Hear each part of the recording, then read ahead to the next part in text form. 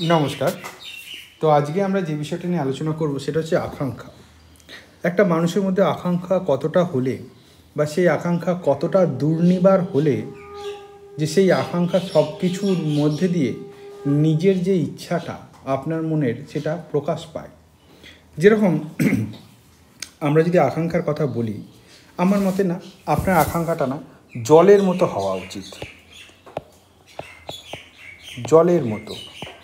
বা ওয়াটার এবার আপনি দেখুন ওয়াটারের একটা খুব অনেক যে ধর্মগুলো রয়েছে, তার মধ্যে একটা হয়েছে কি, যে জলটা খুব ফ্লেক্সিবল আপনি জলের উপরে হাত দেবেন, জলটা সঙ্গে সঙ্গে সরে যাবে। আপনি জলের ভিতরে হাত ঢোকাতে চেষ্টা করবেন, আপনি জলের মধ্যে স্নান করবেন, জলটা সরে গিয়ে আপনার জায়গা দেবে এবং আপনার গায়ে লেগে থাকে, তাই না? তাহলে এই যে আকাঙ্ক্ষাটা আছে আপনার জলের মতো, এবার প্রশ্ন হচ্ছে যে জলের মতো আকাঙ্ক্ষার কেন দরকার? জল তো খুব নরম, তাহলে আমাদের আকাঙ্ক্ষাটাও কি সেরকম নরম হবে? জল তো খুব সহজ, সরল, তরল। তাহলে আকাঙ্ক্ষাটাও কি এরকম হবে? আকাঙ্ক্ষার কি একটা শেপ আসা দরকার নেই? দেখুন, হতে পারে আপনি একজন ভালো বিজনেস ম্যান হতে চাইছেন। আপনি একজন কোনো সফল কি বলে, চাকুরি হতে চাইছেন। আপনি কোনো চাকরি পেতে চাইছেন, ঠিক আছে? এবার চাকরি পাওয়ার পর উন্নতি করতে চাইছেন, আপনি বেসরকারি ফিল্ডে হতে পারেন, আপনি সরকারি ফিল্ডে হতে পারেন। এবার দেখুন, ব্যাপারটা আমি আপনাকে বোঝাই। জল তো এরকম অবশ্যই, কিন্তু জলে আর একটা গুণ আছে কি? জল খুব নমনীয় আর জল কিন্তু পাহাড়কেও তার গতিপথে ক্ষয় করে দেয়। আপনি যদি দেখেন, আমরা যদি একটু ইন্টারনেটে দেখি, আমি আপনাদের জন্য কিছু ছবি রেখেছি। যেমন ধরুন ওয়াটার এরোডেড হিলস, এই লিখে সার্চ করে রেখেছি। তো ওয়াটার এরোডেড হিলসের মধ্যে কি? এই যে যতগুলো ছবি আপনি দেখতে পাচ্ছেন, এই প্রত্যেক কটা ছবিতেই জল কোনো না কোনোভাবে হিলসকে এরড করেছে। বা ও সি উইথ হিলস, বা ধরুন যদি আমরা সি এরোডেড হিলস করি তাহলে আপনি বুঝতে পারবেন আমি কি বলতে চাইছি। জল যতই নমনীয়, কোমল যাই হোক, জল কিন্তু একদমভাবে ক্ষয়কার্য করেই থাকে। এবং পাহাড় দিয়ে যখন নদী নামে, এতটা ক্ষয়কার্য করে যে পাহাড়ের প্রচুর অংশ নিয়ে এসে সমতল ভূমিতে জমিয়ে দেয়। এটা আমরা জানি। তাহলে আপনার আকাঙ্ক্ষাটা যদি জলের মতন হয়, জলের মতন এরকমভাবে ক্ষয়কার্য করে দিতে পারেন, জল যদি পাহাড়কে ক্ষয়কার্য করতে পারে আপনি যদি আপনার আকাঙ্ক্ষাটাকে, আপনার ইচ্ছাটাকে আপনি যেটা হতে চাইছেন, আপনি ব্যবসায় উন্নতি করতে চাইছেন, আপনি সরকারি চাকরি পেতে চাইছেন বা আপনি আজ আপনার জীবনে যে প্রফেশনে রয়েছেন সেটাই সফল হতে চাইছেন, তাহলে প্রথম কথা হচ্ছে যে আপনি কতটা জলের মতন ফ্লেক্সিবল অর্থাৎ পরিবর্তিত পরিস্থিতিতে। যেমন এখনকার সময় করোনা আবহাওয়ায় প্রচুর অর্থনৈতিক কার্যকলাপ বন্ধ হয়ে গিয়েছে লোকজন আগের মতন অত খরচা করছেন না।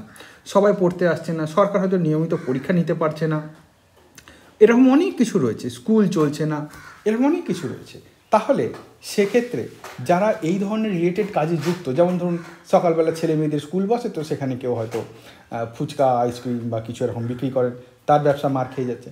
তো এরকমভাবে অনেক সমস্যা সবারই হয়েছে, এমনি না যে কারোর হয়নি, কেউ প্রভাবিত হয়নি, তা নয়। এবার সেই অবস্থায় আপনি যে কোনো বয়সে চাইলে যে কিছু হতে পারেন, অবশ্যই যেগুলো চাকরির ক্ষেত্রে কিছু বয়সের নিয়ম আছে, সেগুলো ছেড়ে দিয়ে। আমি আমার উদাহরণ দেব। হুম, এখানে আমার ছবি আঁকার খুব একটা উৎসাহ ছিল না ছোটোবেলা থেকে। কিন্তু আমি না হঠাৎ করে এই লকডাউন পিরিয়ডে ছবি আঁকার চেষ্টা করলাম। এবং ছবি আঁকার চাহিদাটা না আমার কীরকম হলো জানেন তো? জলের মতন হলো। অর্থাৎ যদি আপনি একটা চিন্তা করেন যে এরকম একটা বড় ড্যাম বানানো হলো। ঠিক আছে? এবার ড্যামের মধ্যে না কিছু কিছু লক গেটস রাখা হয়। কেন না বেশি জল বেড়ে গেলে সেখান থেকে ইয়ে। তাহলে ধরুন এরকম ড্যাম বানানো হয়েছে, আর ড্যামের এই পাশটা দিয়ে নদী রয়েছে, এই ওপরটায় দিয়ে নদী রয়েছে এরকম, বা জলাধার রয়েছে। কিন্তু জলাধারের একটা সীমানা আছে নর্মাল তারপরে হচ্ছে এই ওপরটায় এসে গেলে ডেঞ্জার মানে এই থেকে এই অবধি ডেঞ্জার তো যখন এই ডেঞ্জার লেভেলে জলের এই মানে পরিস্থিতি এসে যায়, সঙ্গে সঙ্গে না লক গেট ওপেন হয়ে যায়। আর জল তখন এখান দিয়ে বেরোতে থাকে, কেন? তার কারণ হচ্ছে জলকে আর আটকে রাখা যাবে না।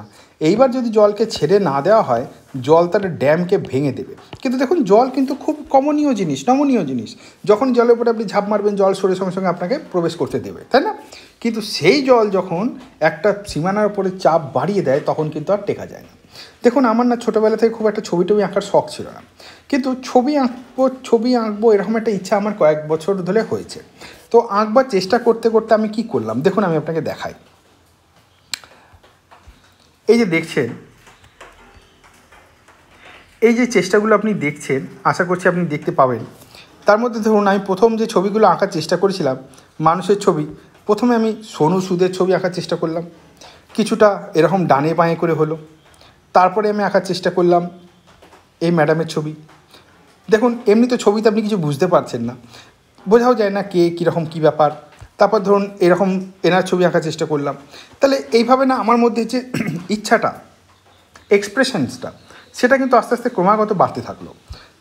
তারপরে আরও একটু ছবিটা একটু বেটার হতে শুরু করল। এইভাবে ছবি আঁকার এক্সপ্রেশনটা আস্তে আস্তে, যেমন ধরুন এইখানে বাবা তার মেয়েকে জন্মদিনে খাবার খাইয়ে দিচ্ছেন, এই একটা ছবি, এগুলো সব ফেসবুক থেকে আমি দেখে দেখে এঁকেছি। হ্যাঁ আবার দেখুন, এই একটা ছবিও হয়েছে। মানে একদম শুরুর দিকে যে ছবিগুলো আঁকা হচ্ছিল। ঠিক আছে? তারপর ছবিটা যখন একটু ভালো হতে শুরু করল, তখন ছবির মধ্যে একটু রঙ দিতে শুরু করলাম। দেখুন রঙের তো অবস্থার খুবই খারাপ। রঙের র- রং কিছুই হয়নি, না চুল হয়েছে, না দাড়ি হয়েছে। তারপরে আস্তে আস্তে একটু একটু করে অগ্রসর হতে থাকল, একটু একটু করে এগোতে থাকলাম। এমনিও যে খুব ভালো করছি তা না। তারপরে ধরুন এই যে পান্ডা। এবার কথা হচ্ছে এই যে আঁকাগুলো আস্তে আস্তে আমি করছি বা আঁকছি, এগুলো কিন্তু ক্রমাগত আমার ইচ্ছার বহিঃপ্রকাশ। যেমন ধরুন, এনার যে ছবিটা আছে, চুল টুল কিছু করতে পারিনি, মুখ চোখও কীরকম হয়ে গিয়েছে, তাই না? অর্থাৎ আমি বলতে চাইছি, আমার মধ্যে যে একটা ছবি আঁকিয়ের যে ইচ্ছাটা, একটা চাহিদা, আমি একটা ছবি আঁকতে চাই, যেটা আস্তে আস্তে আস্তে বড় হতে হতে আজকে এই পজিশানে পৌঁছেছে যে মোটামুটি ছবিটা আপনি বলতে পারেন যে কিছু আছে। যেমন ধরুন আমরা যদি এটা হেয়ারটাকে সরিয়ে দিই, হাতটা চলে যাচ্ছে, তারপর যদি হেয়ারটাকে সরিয়ে দিই, ঠিক আছে? হ্যাঁ? বা এই নাকটাকে সরিয়ে দিই, এরমভাবে এগুলো করা যাচ্ছে। আর এটা হচ্ছে রিয়েল ম্যাডামের ফটো যার রেফারেন্স দেখে আমি এঁকেছি। একদম লেয়ার ওয়ান দেখুন রিয়েল ম্যাডামের ফটো আর কি। ঠিক আছে? তাহলে এইভাবে আঁকতে আঁকতে আঁকতে, আস্তে আস্তে আজকে আমার মনের যে ইচ্ছাটা, মনের যে চাহিদাটা, সেটা আমি আস্তে আস্তে আস্তে আস্তে আস্তে পূরণ করতে পারছি। তাই না? এটা আমি জাস্ট ছবিটা ঘুরিয়ে আপনাকে দেখাচ্ছি, এটা আর একটা অ্যাঙ্গেল থেকে। তাহলে এটা কীভাবে হচ্ছে? তার কারণ হচ্ছে, আমার যে ইচ্ছাটা ছিল, সেই ইচ্ছাটা একটু একটু করে বহিঃপ্রকাশ হচ্ছে। তাহলে এভাবে আপনার যে ইচ্ছাটা রয়েছে, সেটা চাকরি পাওয়ার হোক, ব্যবসা করার হোক, টিউশন পড়ানোর হোক, আপনি না আপনার ইচ্ছাটাকে জলের মতন করে না ফ্লো করতে থাকুন। যে কোনো পরিস্থিতিতে পিছিয়ে যাওয়ার মতন যে কোনো পরিস্থিতিতে নমনীয় হওয়ার মতন অবস্থায় রাখুন।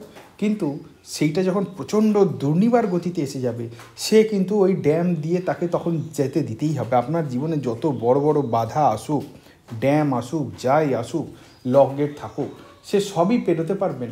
ইভেন ইফ আপনি যদি দেখেন যে যখন বন্যার জল টল হয়, তখন লোকজনের বাড়িতে পাঁচিল আছে, দেওয়াল আছে, কিন্তু হয়তো একটু ফুটো রয়েছে। এই একটু ছিদ্র দিয়েই, এই একটু ছিদ্র দিয়েই জল ঢুকতে থাকে, তাই না? জল ঢুকতে থাকে। কেন? জল এমন জিনিস, একটু ফুটো পেলে, একটু গরম পেলে, জলের সবসময় একটা ধর্ম যে সে সবসময় নিচের দিকে প্রবাহিত হতে থাকে। আপনার আকাঙ্ক্ষা বা আপনার ইচ্ছারও একটা ধর্ম যে সবসময় পরিপূর্ণতার দিকে যায়। কিন্তু আপনি কি সেই পরিপূর্ণতাটাকে সেই সেই লেভেলে আপনি কাজ করছেন, আপনি আপনার কাজ করতে করতে ধরুন হয়তো রাস্তায় বেরিয়েছেন বা কোথাও যাচ্ছেন, হঠাৎ যখন মনে পড়ল যে না, আমার অনেক কাজ বাকি আছে, আপনি কি বাড়িতে ফিরে আসছেন কাজগুলো করবার জন্য? নাকি ঠিক আছে, চলো আধ ঘণ্টা পরে করব আর এমনকি আধ ঘন্টায় আর আমি কী বড় তীর মেরে নেব? আপনি আধ ঘণ্টা না, আপনি এক মিনিটে বড় তীর মেরে নিতে পারেন।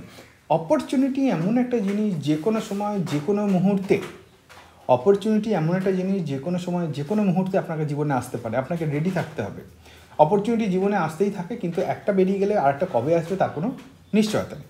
তা আমার মতে আপনি না আকাঙ্ক্ষাটাকে জলের মতন রাখুন, যেন সে অন্য জিনিসকে খইয়ে দিতে পারে তার রাস্তায়, পাথর ইয়ে আবার সে নরম হয়ে সব কিছুকে অ্যাডাপ্টও করে নিতে পারে।